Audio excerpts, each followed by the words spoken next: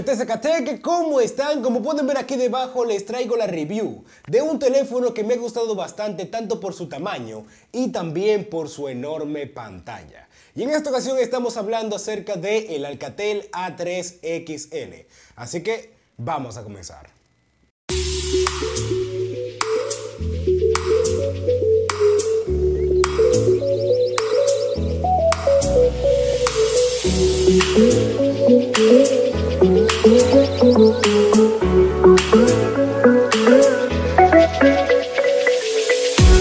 Comenzar vamos a hablar acerca del diseño y la construcción de este. No vamos a negar que es un teléfono bastante bonito a la vista, tanto por sus bordes que parecen ser de aluminio pero que en realidad son de plástico, pero me gustó bastante el trabajo que hizo Alcatel con este teléfono. Un acabado bastante logrado. El teléfono tiene un peso de 159 gramos y en cuanto a su pantalla es de 6 pulgadas con tecnología IPS y una resolución HD. Y dando mi opinión acerca de esta, quiero decir que se ve bastante bien. Lo único que no me gustó de esta pantalla es que los colores se ven un poco saturados. Pero no voy a negar que su tamaño me envolvía bastante para poder ver películas y videos. Si nos fijamos en la parte inferior podemos encontrar los botones capacitivos. Tanto para retroceder, ir a la pantalla inicial y también ver todas las pestañas que tengamos abiertas. Y ya en la parte superior podemos encontrar la cámara frontal que también cuenta con un flash. Y es algo que me ha gustado mucho de Alcatel ya en la parte trasera del teléfono podemos encontrar la bocina. Y quiero decirles que se encuentra en una muy buena posición. Por así decirlo, la mejor posición que he encontrado hasta ahora en un smartphone. Ya que cuando estemos jugando con el teléfono en orientación horizontal, en vez de tapar la bocina, lo que vamos a hacer es amplificar el sonido. Compruébenlo por ustedes mismos.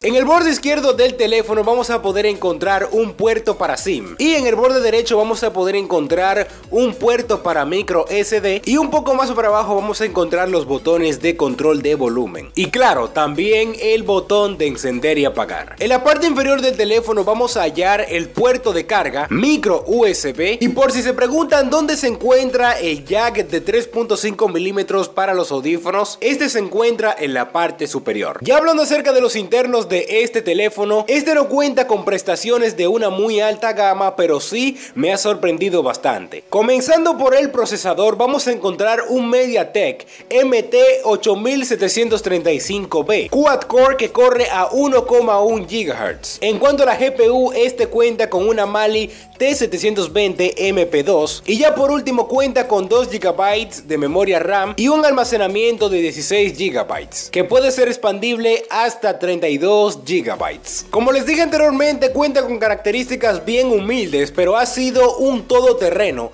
tanto para juegos y aplicaciones. Pero aunque no se haya manejado al 100% con juegos como Asphalt 8, el juego corrió con lag y todo, que es algo que me gustó. Pero ya con juegos como Temple Room, Angry Birds, entre otros muchos más, que no exigen mucho del teléfono, corrió bastante bien. Ya hablando acerca de la versión de Android de este teléfono, este viene con la versión 7.0 Nougat. Y en cuanto a mi experiencia como usuario, quiero decirles que se sintió bastante bien y muy cómodo. Y claro, corría bien fluido. Ya en cuanto a la batería, este viene con 3000 miliamperios. Y siéndole sincero, el teléfono fácilmente te puede durar hasta dos días con batería. Claro, no dándole un uso muy excesivo. Pero la batería de este teléfono es bastante guerrera. Ya en cuanto a mi parte favorita, la cámara principal del Alcatel A3 XL es de de 13 megapíxeles y cuenta con su flash LED y también con autoenfoque. En cuanto a la cámara frontal es de 8 megapíxeles y como les había dicho anteriormente cuenta con su propio flash LED y un modo de belleza que ya es un poco más orientado a las mujeres. Y ya dándoles mi opinión acerca de la cámara principal me ha dejado bastante sorprendido y hasta me podría quedar con él para tomar solamente fotografías, ya que en cuanto a los colores, la definición y el detalle en cada fotografía es algo para chuparse los dedos. Y en cuanto a la cámara frontal sigue la misma línea, muy buenos colores y muy buena definición en fotografía.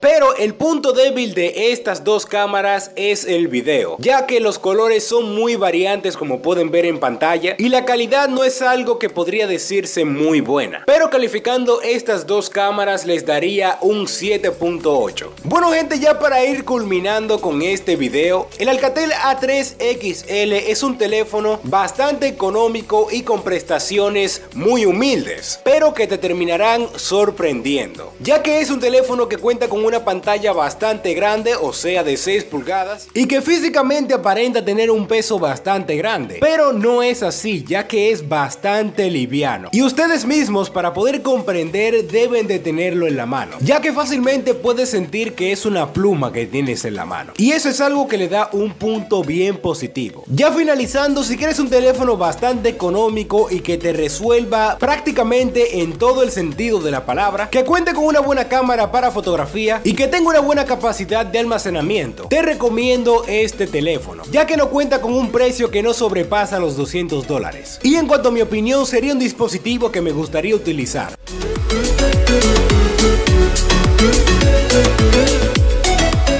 Y bueno amigos, eso ha sido todo por esta entrega. Recuerda dejar tu like, compartir y suscribirte en este gran canal, ya que semanalmente estamos subiendo videos de tecnología. Y hasta la próxima entrega de TSK